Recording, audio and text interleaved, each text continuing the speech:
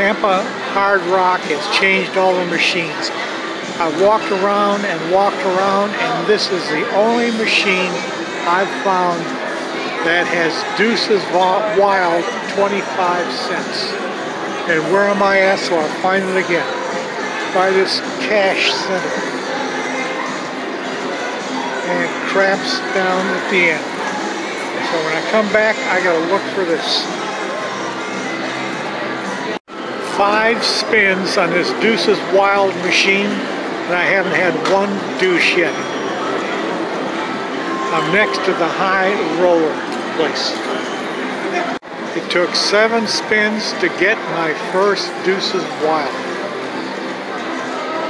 Look for spin poker to find Deuces Wild.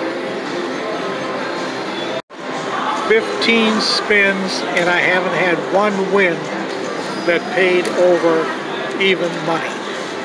On the 16th spin, I finally hit four credits.